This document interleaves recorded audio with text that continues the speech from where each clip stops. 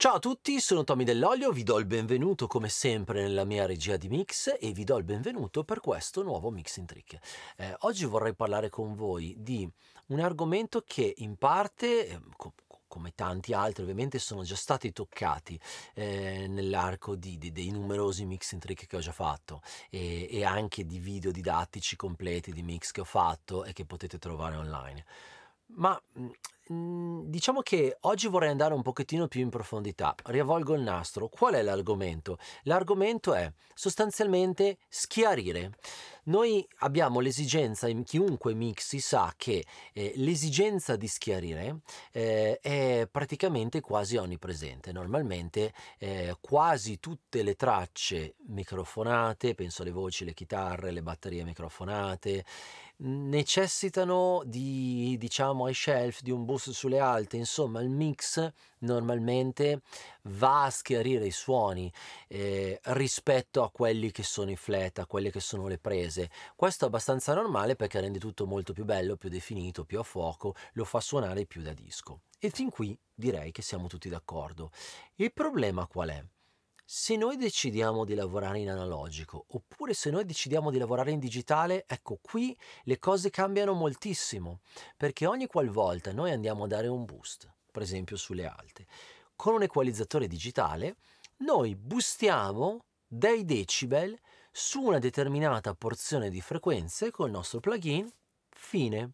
Se noi invece andiamo a dare un boost con un equalizzatore analogico, poi ovviamente voi mi direte, dipende dalle Q, ci sono i Q più puliti, ci sono i Q più sporchi in senso buono, quindi che danno più saturazione armonica, mi vengono in mente tutti quelli di famiglia Nivi, 1073, 1081. Ecco, eh, io in equalizzatori, diciamo di stampo classico, da channel strip, da console classiche anni 70-80, io lì vado ad, e anche precedenti, io lì vado vado a dare, quando do, non so, prendo una frequenza, i 5.000, gli 8.000, i 10.000 e do un boost, in realtà non sto dando solo e semplicemente dei decibel, ma sto dando decibel e saturazione armonica e compressione.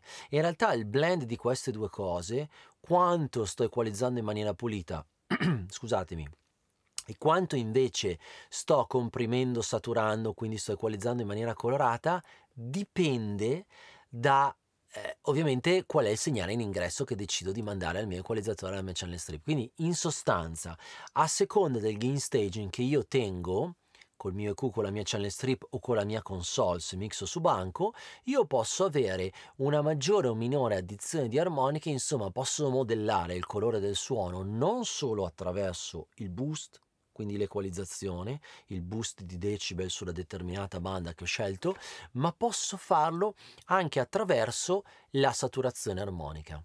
In digitale questo non esiste dentro il classico plugin di equalizzazione. Io però posso ottenere un risultato molto simile e per certi versi, secondo il mio punto di vista, anche migliore. Ora vi spiegherò perché.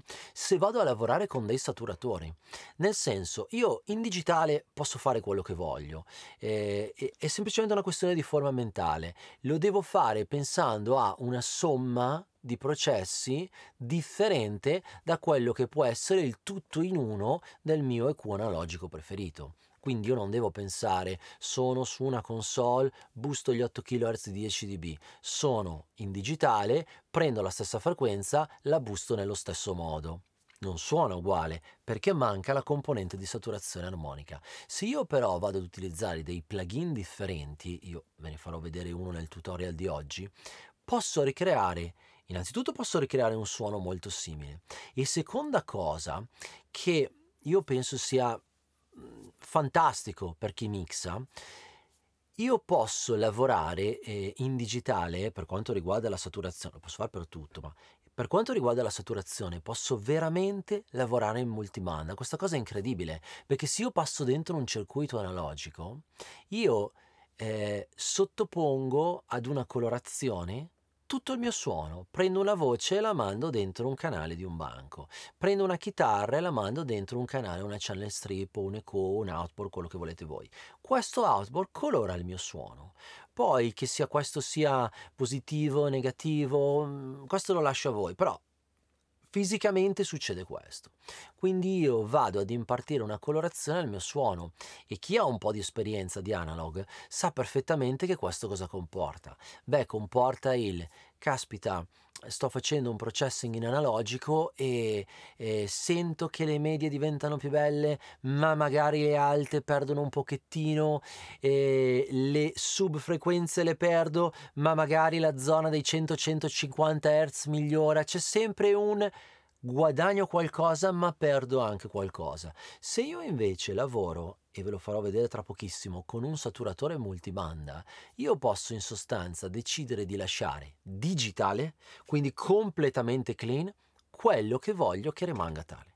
E posso decidere di saturare o addirittura distorcere, quindi andare molto molto più pesante come addizione e iniezione di armoniche rispetto all'analog, solo ed esclusivamente in maniera circoscritta sulla porzione di frequenza che mi interessa. Questo ovviamente va a creare tutta una serie di sfumature di colori, punto numero uno, e di eh, come dire, controllo dinamico, nel senso che io i transienti posso preservarli perfettamente come posso distruggerli completamente se desidero farlo. Quindi sostanzialmente ho la possibilità di controllare e colorare sia dal punto di vista timbrico che dinamico in maniera pazzesca il mio suono. Ovviamente eh, questo in mix è molto comodo, perché io in mix vado a rifinire, controllare, incastrare una cosa che è già stata prodotta, quindi che ha già un imprinting sonoro, il timbro è già stato deciso. Quindi io direi, spostiamoci sul Pro Tools, così vi faccio vedere la differenza fra queste due tecniche, il senso e, e, e ovviamente l'ascolto, perché andremo a fare delle comparative, del perché non ce n'è una migliore di un'altra, non è meglio l'analogico del digitale o viceversa, non è meglio pulito o saturato o viceversa, servono entrambi, a seconda, secondo me ovviamente servono entrambi, a seconda del suono finito che volete ottenere. Quindi direi spostiamoci sul Pro Tools e proviamo ad andare in profondità insieme. Benissimo, eccoci qua davanti al Pro Tools. Allora, vi ho preparato ovviamente un po' di cosine diverse, e vi spiego subito. Questa viola è un synth. Eh, questa gialla è una voce, questa traccia rossa è uno stereo, un panoramico, eh, quindi overhead di batteria, un panoramico di batteria, quindi microfoni veri. E stessa cosa questo, questa è una coppia di mandolini e anche questi sono microfonati dal vero. Eh, così adesso andiamo a indagare un attimino e a verificare insieme eh, come si comportano queste due opzioni, quindi la saturazione e la shelf e insomma vediamo di capire un pochettino più in profondità pregi e difetti. Parto da questo, faccio un piccolo loop, parto dal synth, intanto vi faccio sentire la traccia nuda e cruda.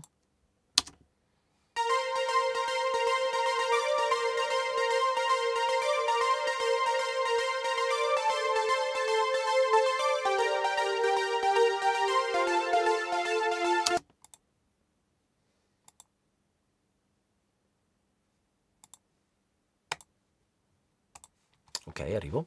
C'era rimasto un Saturn di troppo acceso. Allora vi faccio eh, vedere anzi prima di sentire. Vi ho preparato le due alternative.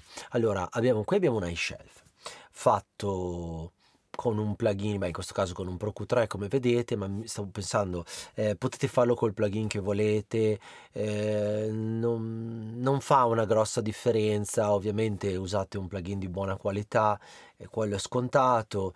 Ehm, non fa una grossa differenza nel senso che lavorando in digitale eh, impartire un iShelf vuol dire andare semplicemente ed esclusivamente a boostare eh, una certa quantità di decibel eh, relative a una certa frequenza, punto e basta.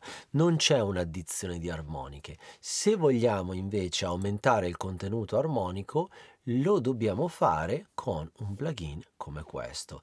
Eh, in questo caso, attenzione, io mh, mm, ho deciso, poi vi faccio vedere bene come regolarlo da zero, però eh, ho deciso di non fare nulla al suono fino a 4000, vedete qui 4343,7 eccetera eccetera. Eccolo qua. Quindi per tutta la parte di basse, medio-basse, medio-alte, non ho fatto praticamente nulla, solo dai 4300 eccetera eccetera in poi ho deciso di saturare in maniera molto pesante. Sentite l'effetto. Parto dal flat, poi accendo le Q, poi accendo il saturatore.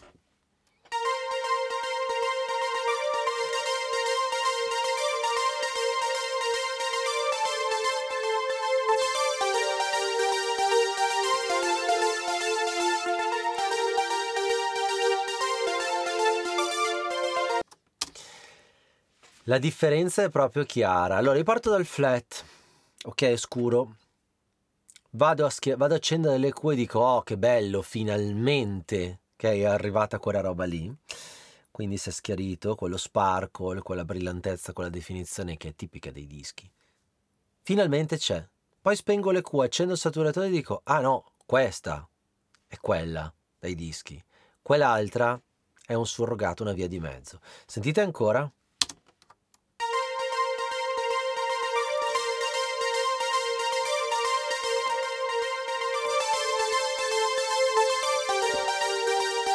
È più frizzante, è più avvolgente, è come se avesse quasi un ambiente diverso, ha più sustain, ha più densità.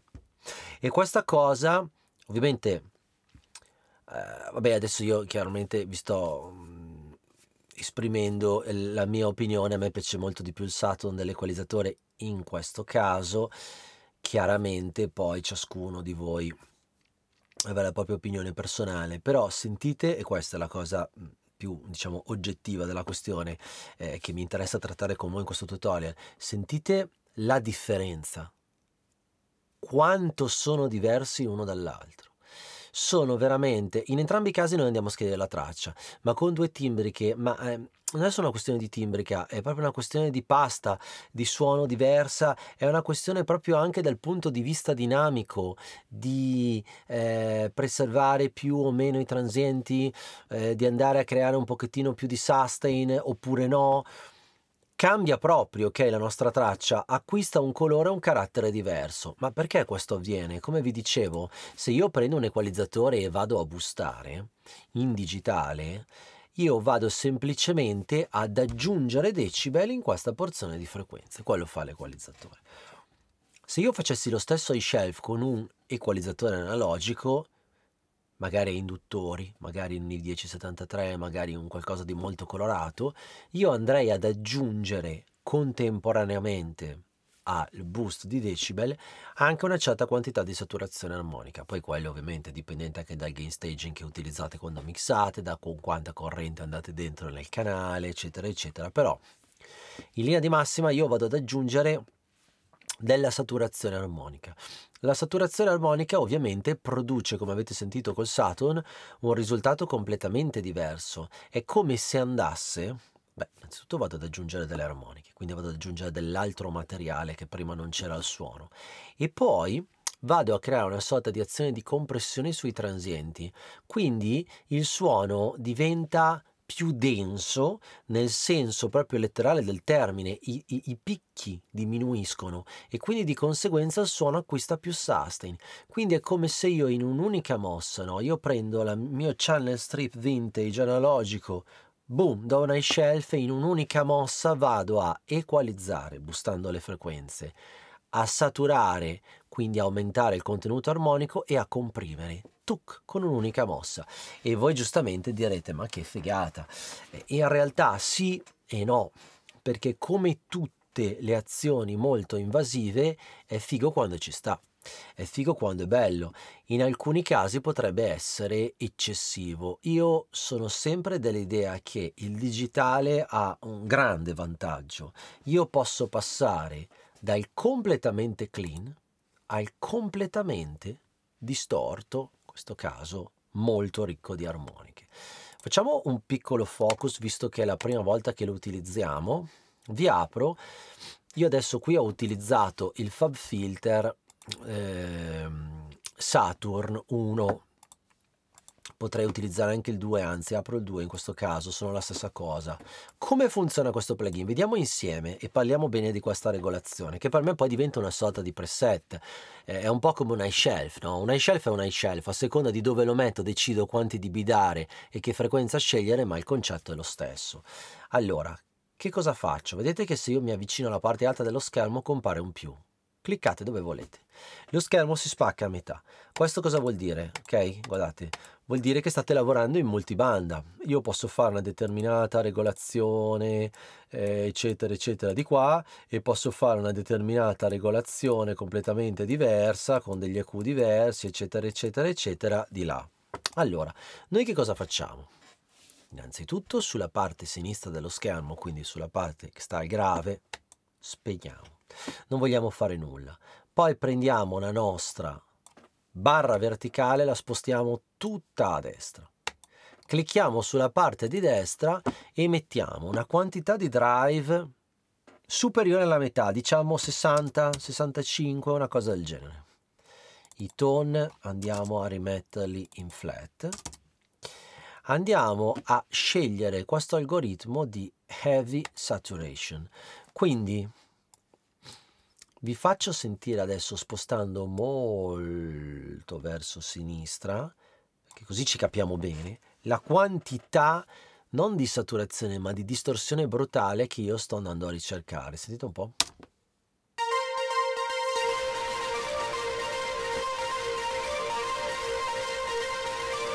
Io sto mandando il suono dentro quel robo qui, ok? È quasi come se fosse un amplificatore di chitarra virtuale, cioè è veramente un distorsore. Chiaramente voi mi direte, ma è inutilizzabile così? Certo, è inutilizzabile così, ma la figata dove sta? Che se io vado con questa quantità, esattamente quella che avete sentito, a saturare solo le frequenze altissime, succede questo.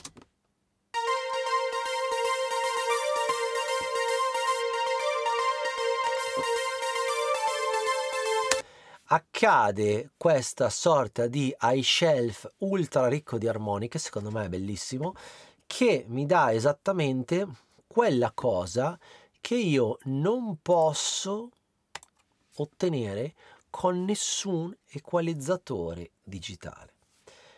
È chiaro che voi da un lato avete questo, completamente clean, dall'altro lato avete questo, completamente crunch, e ovviamente tutto quello che sta nel mezzo. Potreste fare anche un blend dei due, potreste dare, scusatemi, qualche dB di equalizzazione più un pizzico di saturazione, insomma potete fare tutto quello che volete. Capite che noi non stiamo parlando di produzione, non stiamo parlando di registrazione, stiamo parlando di mix. Per me in mix è molto meglio avere questo che non avere una channel strip di NIV 1073 o di Chandler qua dentro il rack.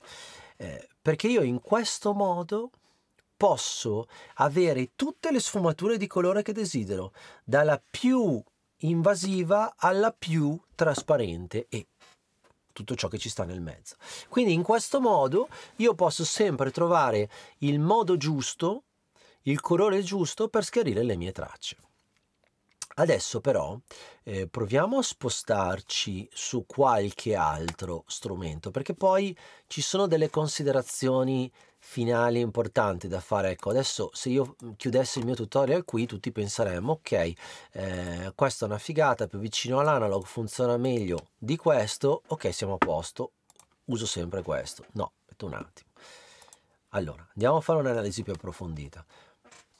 Io vi ricordo che, anzi, più che ricordarvi, vi faccio vedere una cosa.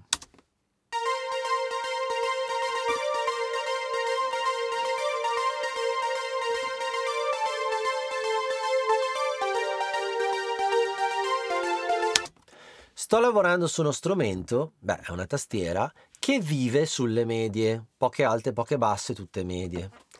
Vado a lavorare su un altro, un'altra categoria di strumenti esattamente identica, cioè che vive sulle medie, che sono le chitarre.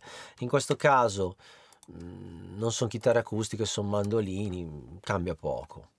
Sentitelo.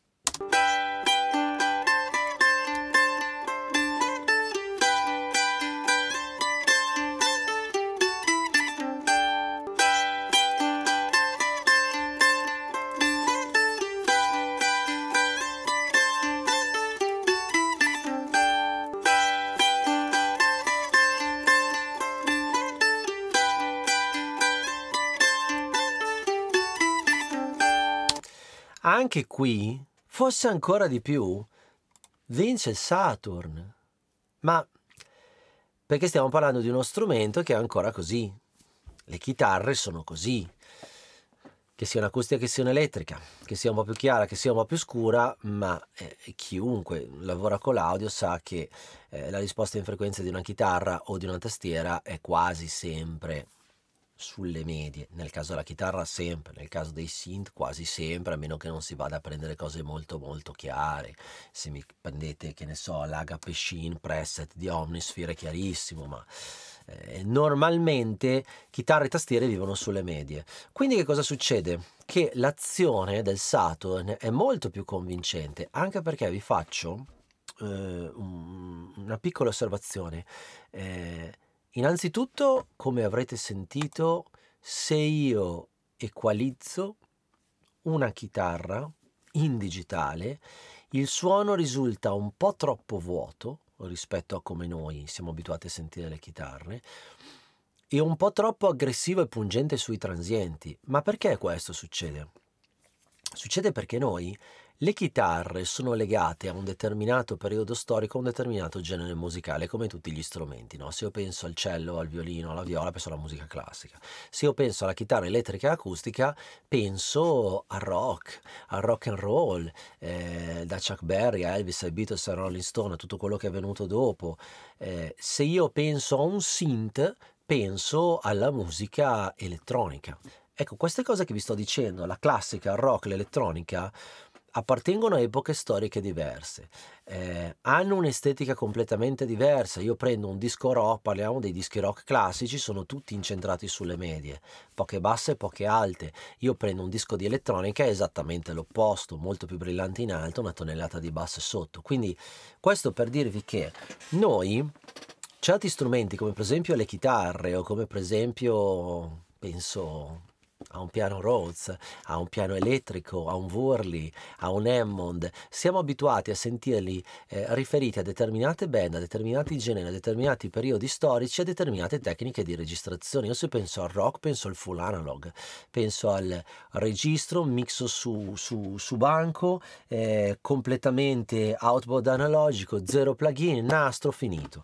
Eh, ovviamente quello, soprattutto sulla chitarra eh, o comunque in generale sugli strumenti che stanno sul mid range, produce quella cremosità nel timbro che non è dovuta a una migliore qualità delle attrezzature audio che state utilizzando, ma a una peggiore qualità in termini di banda passante, di headroom, di risposta ai transienti. Però alla fine voi mi insegnate che il bello e brutto è tutto relativo, anche il blues armonicamente è sbagliato, ma in realtà eh, noi siamo abituati ad ascoltarlo così, è bellissimo così. Nessuno si sognerebbe di andare a fare analisi armoniche improponibili e giustificarlo tutto come se fossero dominanti secondari. Comunque, al di là della digressione, quello che voglio dirvi è che l'abitudine eh, a, a, a, a costituire, l'abitudine all'ascolto costituisce il nostro senso estetico. Quindi, veniamo al punto, se io lavoro su una chitarra, eh, la vado a schiarire col Saturn, vado a un po' a distruggere, a sporcare i transienti, a creare quella cremosità e quella perdita di definizione proprio sui transienti per l'appunto in alto che la rende più simile a come sono normalmente abituato a sentirla.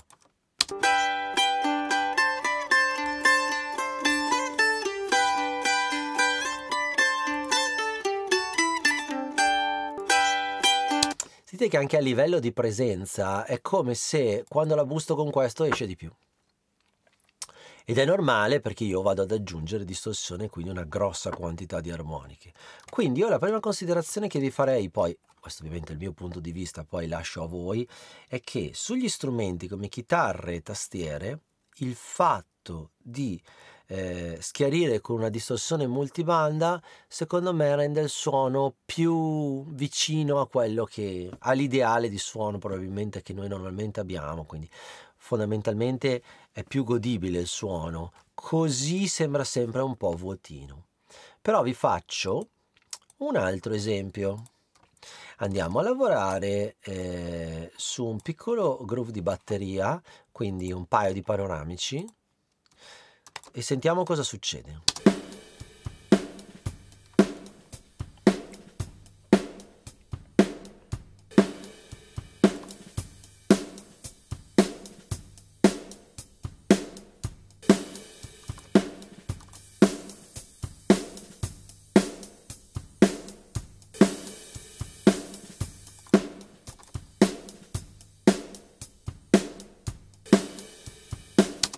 Questo caso, per esempio, se io vado a... Allora, il Saturn anche qui ormai è diventato una costante, si sente di più, tira fuori di più la parte alta della traccia rispetto all'equalizzatore. Però in questo caso, per esempio, a me non piace. Lo trovo troppo invasivo, non mi piace come rende il timbro del Charleston. Non è...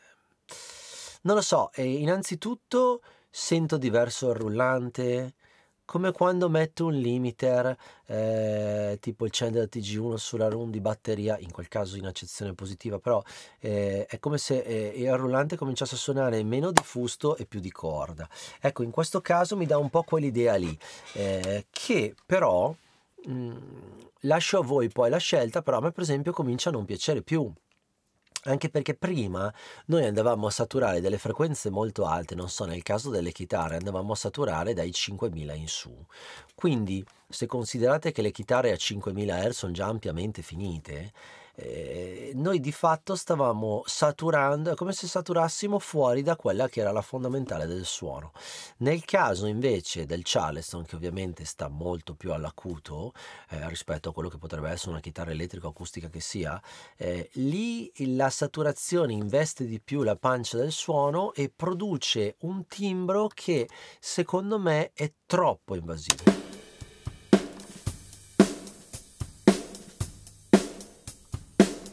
Non mi piace, frizza troppo. Sento troppo la... Prima non sentivo la distorsione, sentivo che il suono si schiariva. Adesso sento più presente la distorsione e questo dipende proprio dal fatto che noi siamo sempre in quella zona lì, no? attorno ai 5000. Però lì, 5000, 6000, 7000, 8000, lì c'è il Charlie. Non siamo oltre a livello di frequenze, la fondamentale del suono di quello strumento, ci siamo de- la prendiamo in pieno e quindi la distorsione si sente troppo. Invece, con l'equalizzazione io vado a come dire, eh, schiarire però in maniera più conservativa del timbro e per esempio in questo caso mi piace di più. Quindi al di là di quello che piace a me, poi voi deciderete quello che piace a voi. Ma la cosa importante secondo me è proprio sottolineare eh, le differenze che questi due processi eh, portano a seconda di quello che ovviamente è il suono di partenza, quindi in determinate circostanze può essere più gradevole uno dell'altro, in altre circostanze esattamente l'opposto. Ed infatti la morale di questo video è secondo me dovete conoscere e sapere utilizzare bene entrambe le tecniche per poter sempre scegliere. Vi faccio notare anche un'altra cosa.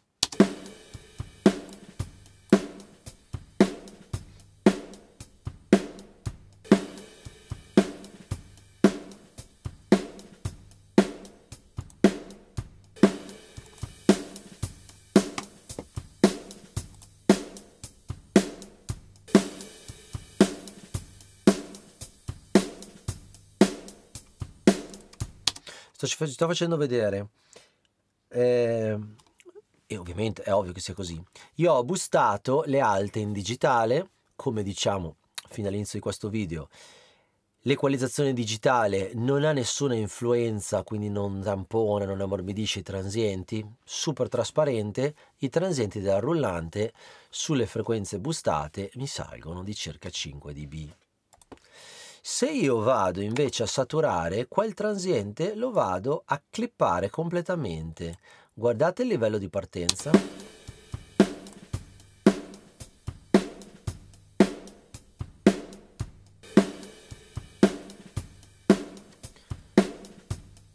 Siamo a circa meno 26, meno 27 dove ho il puntatore del mouse di picco con rullante e sto parlando sulle frequenze interessanti a noi, non sulla fondamentale del rullante, eh, quindi siamo in questa zona qui più o meno, ok? 4-5 mila Hz. Vado a accendere il saturatore.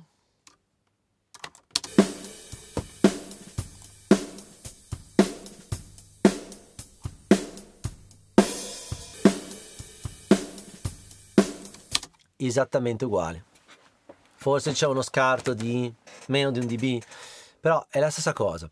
Quindi, anche qui, io non so dirvi se è giusto o sbagliato, io potrei dirvi quello che è giusto o sbagliato per me, però eh, sappiate che se andate a lavorare su uno strumento percussivo con un saturatore, voi andate a tappare i transienti. Se invece andate a lavorare con un equalizzatore digitale, andate a enfatizzare i transienti nell'area in cui andate a boostare. Quindi questo aumenta la percussività. Voi volete più o meno transienti? Quando mixate una batteria, io personalmente ne voglio di più. Non c'è una regola, però ecco, tenete presente a seconda di quale delle due operazioni scegliete, tenete presente quello che succede, innanzitutto dal punto di vista sonoro, quale vi piace di più, ma tenete presente anche quello che accade dal punto di vista dinamico. Vi faccio l'ultimo esempio. Una voce.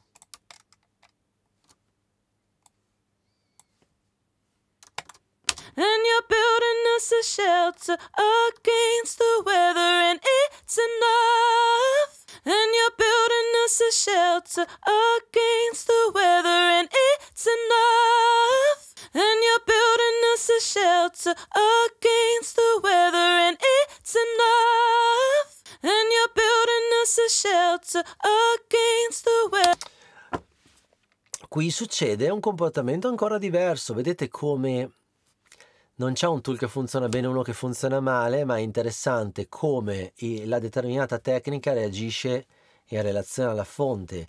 Io sentivo più presenza, ok? Più bright, più presente, più denso la chitarra e la tastiera se le processavo col Saturn rispetto all'equalizzatore. Qui sento la voce più brillante con l'equalizzatore rispetto al Saturn. E questa cosa è interessante. Il Saturn lo sento un po' più mediosetto.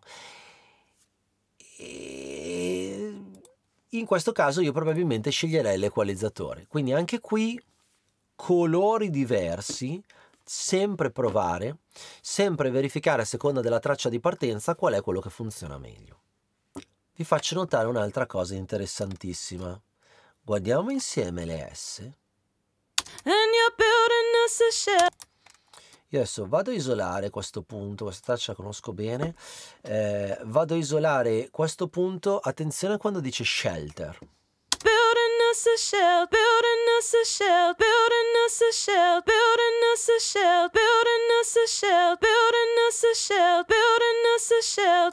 Avete visto dove ho il puntatore del mouse? Le S sono a meno 23.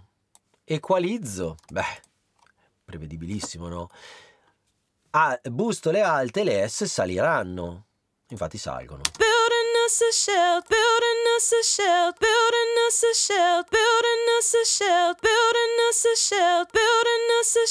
Adesso la S che prima era meno 23 è a meno eh, 17, quindi è salita di 6 dB.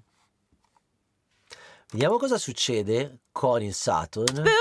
Us a shell, building us a shell, building us a shell, building us a shell, building us a shell, building us a shell, building us a shell, building us a shell. E lì 1-2 dB in più, diciamo 1,5 giusto per restare a metà. Eh, quindi il, il, il bright che ho aggiunto col Saturn mi fa anche da essere. Io ho schiarito ma facendo guadagnare le mie S un dB, dB e mezzo. Con l'equalizzatore le mie S hanno guadagnato 6 dB.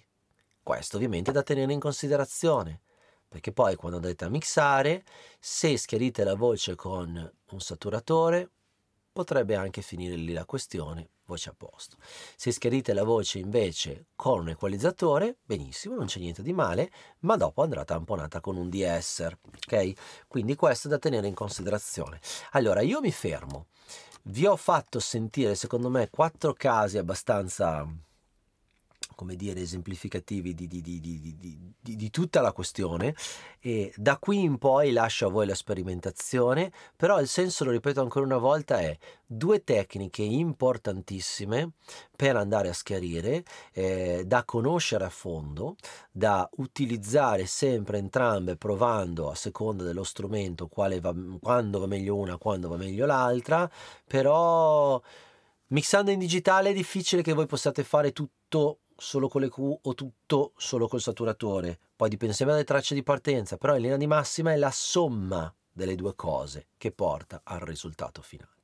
Io mi fermo qua, vi auguro buon mix, vi invito a sperimentare come sempre e ci vediamo il prossimo mese. Ciao a tutti!